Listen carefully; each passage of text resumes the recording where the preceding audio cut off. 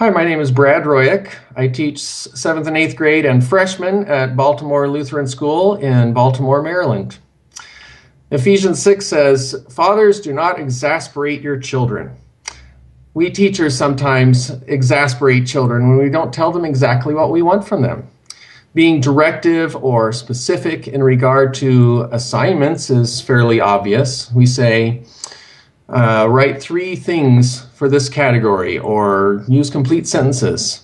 We're even directive in how to do assignments. Uh, we say use a pencil for this or completely clear your desk except for the work you're working on.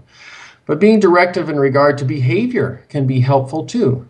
Uh, we can say something like, uh, write your answer on a piece of paper and point to it as I walk by, or open your book and look at me to let me know that you're ready being directive uh, in regard to discipline can help ease confusion and frustration as well.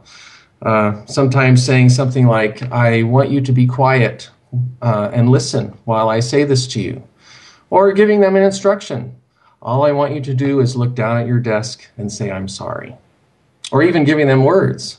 I'm sorry, Mr. Royuk, I won't do that again being directive with students uh, with their assignments and with their behavior can ease frustration for teachers and exasperation for students.